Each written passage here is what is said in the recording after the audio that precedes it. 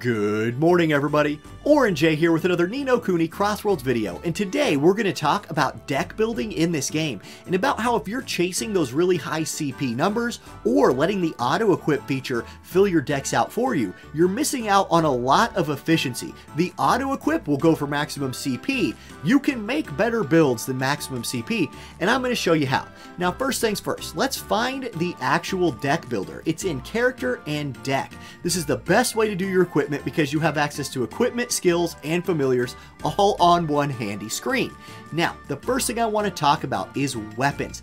Here's the deal with weapons. When you equip one, whether it's in your main hand, in this case it would be this fire weapon, or one of your sub hands, you get all of these stats, right? So I get attack and fire attack up, and you get your awakening effects. In this case, basic attack damage plus 22.5%, which hell yeah, and accuracy rate plus 5%. So I get that from my main hand weapon, but I also get that from my sub hand weapons. I'm going to throw an infograph on the screen here that talks about what I call the core three, the three most important weapons you're going to want to build around in this game.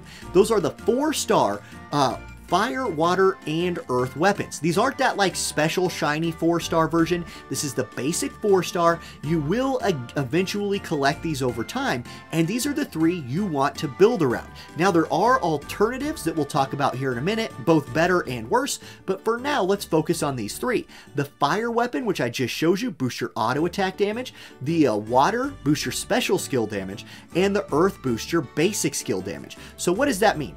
Basic skills are these. These are the ones you start the game with. These are the ones that like you have three of, you can't swap them out for anything else.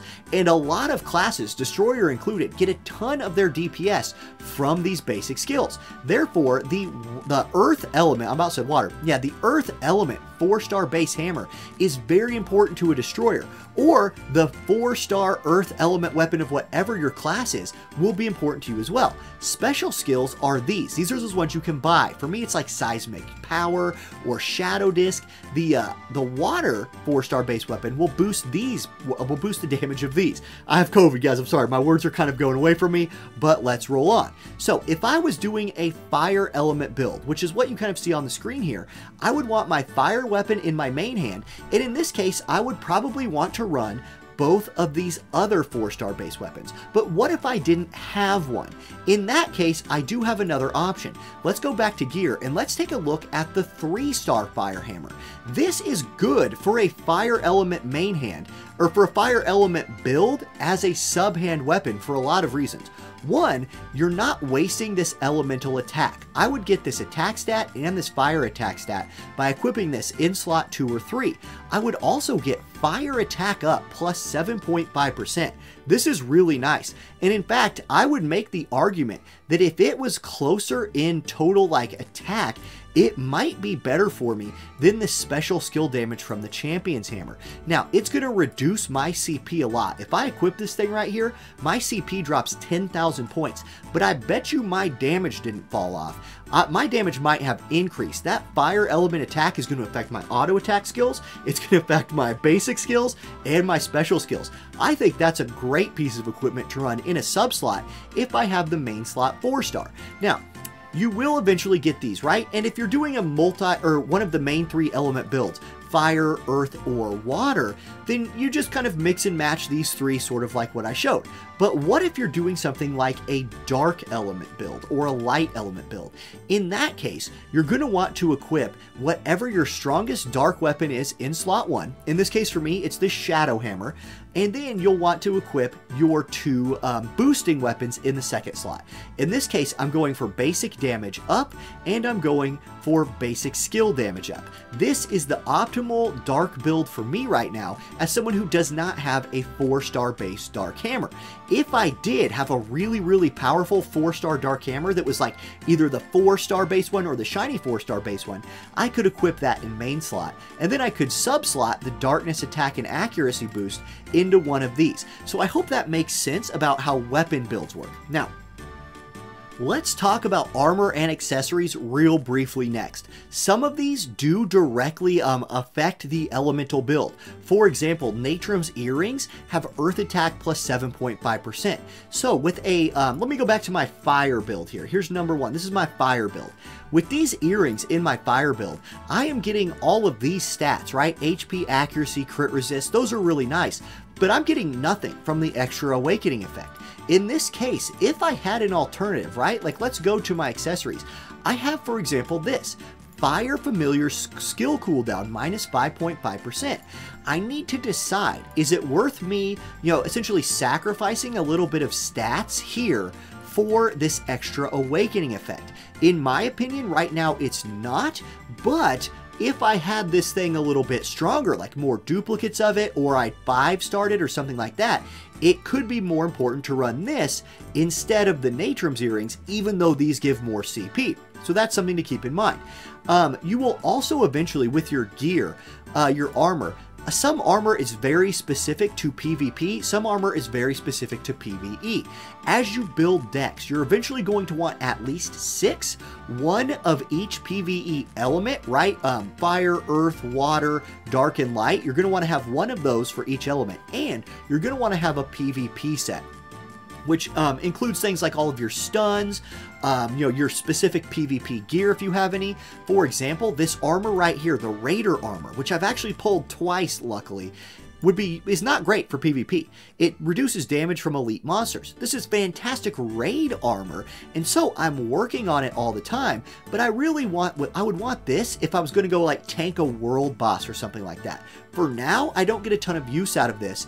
Instead, I go for my more generic max HP up celestial armor but that's just something to keep in mind when you're doing your build loadouts. I think armor and accessories will become more important as we gain more of them as we play the game more. You will want to specialize based on element or type of game you're playing, for now, I think a good starting point is focus on your weapons, make sure you're boosting your element as much as you can.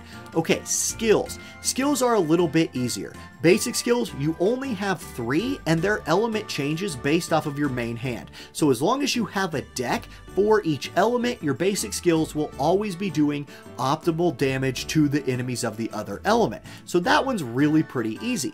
With your um, special skills, it does matter a little bit. They do have an element to them. So in my fire build, I don't currently have anything that scales off of fire, so I would just use like the ones I liked the most. If I wanted to boost my auto attack damage, I might think about something like Frenzy Charge, which increases basic attack damage by another 15% for 10 seconds. So I could like use this buff, and then if I was manually playing, not be using my, my advanced skills while that buff was live, things like this are what you think about. Um, in my dark build, I would want Shadow Disc on probably because this is a yo darkness based attack. These elements do not change based on the element of your main hand weapon. That's the big deal here. So swap them around if it's necessary based on your element. And then your passives, I mean, use the best passives you have. I use Defense because I'm leveling it up. I use Parry and Avenging Fury because they're OP. That'll depend on your class. Let's talk next about familiars. Now, this is a fire set. So already the first thing I see wrong is I don't don't want my number one pet to be Earth. I'm going to hit auto equip. I'm going to tell it to auto equip a fire element in my main slot. At least at this point now, my fire pet will be the one doing the basic attacks, and you get quite a bit of damage from your pet's basic attack damage. When you equip a pet, you get all of these stats, and your pets give a ton of stats and you get their active ability and passive ability. This ability at the bottom, that's for the little minigame. That's for Pet Arena, right? You get these two things. So I have an active ability from him that gives me immortality and heals me. It's freaking awesome. And raises fire attack. It's OP. It's one of the best pets in the game for tanks. And then I get Molten Lion's Heart. All elemental damage taken decreases proportional to the number of fire familiars equipped increases all elemental damage when HP is 20% or below. So, I will get minus 2% damage for every fire familiar I have equipped from my best fire element pet. That's interesting. It might mean that I might want to go to like this guy right here. You know, I call him Flubber. His actual name is Splisher. You know, he is giving me a heal. That's nice. But like really, I have somebody like, uh, oh, let's say Shrimpaler here. Shrimpaler can also give me a heal, and he decreases the skill cooldown of fire familiars I have. So that could be a useful option for me if I wanted the heal. Might, on the other hand, if I look at what his, you know, passive ability is, fire damage up okay, maybe Might is somebody I'd want to go for. And don't discount the three star familiars in this case. You should be, at once you're to the point in the game where you can be farming gold, you should be taking your three star familiars and fusing them together. I know gold is tight. I'm currently under a million. I'm going to be farming gold again tonight. But look at our Dragon Boy right here. Uh, Draggle. I have gotten this guy to 10. He's the only one I have to 10 he gives fire attack plus 5%. Like, don't sleep on this. It might just be worth it. He's 21,000 CP. Splisher's 31,000. But still, I might just want to go like this. Boom. Get out of there, Splisher. I'll sacrifice 10k CP for an additional what?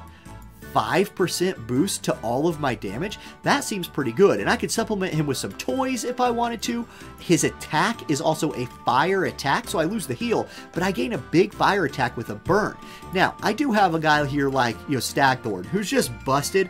At this point in the game, he's so much my best familiar that I don't think I would sacrifice him yet, but I hope that just kind of gives you an idea of how these elements play together and how I essentially sacrificed 20,000 CP here for a bunch of fire attack and optimizing my fire damage. Um, okay, that's it, guys. That's how equipment building works. I'm going to throw back onto the screen the like core three weapons here again because that is, I think, the biggest takeaway. But look at the description of your familiars. Look at the description of your gear. Keep in mind all of those bonuses that you're getting just start stacking on top of each other. Look for good synergies and play around those four star elemental weapons that I'm showing off right here. And boom, that's going to be the video. Thank you guys for watching. I hope you have a great rest of your day. Um, for anybody wondering, like the COVID sucks.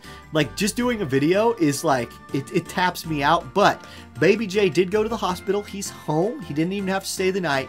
They just had to give him those like good COVID drugs that open up your airway. So he is doing good. I wanted to give a little update there to the people who follow that. Um, and then, yeah, thank you guys for watching. It makes me feel good to do videos. So I like that I can be here talking to y'all. Thanks for hanging out with me, and I'll see you next time. Peace.